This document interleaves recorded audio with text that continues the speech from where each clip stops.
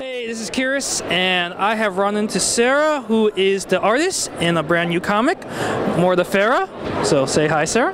Hello. And can you just tell me what Mortifera is about, like the storyline? Uh, yeah, it's about uh, it's focused in the 13th century, and it kind of plays a little bit on historical stuff. Uh-huh. But the like the plague wasn't really a plague; it was demons that slaughtered everyone. The Black Plague. Yeah, Okay. yeah.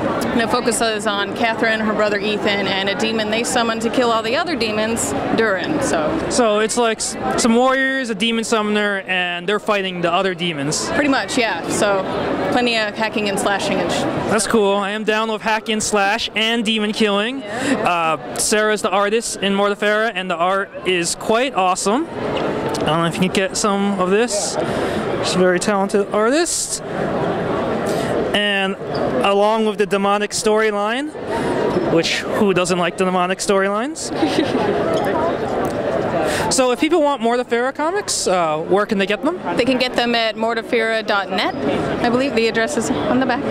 Oh, right there. And there's also some other cool merchandise things you can get with Farah, right? There is there's stickers, buttons, and eventually there will be T-shirts, and you can buy the the comic on the internet right now. So Cool.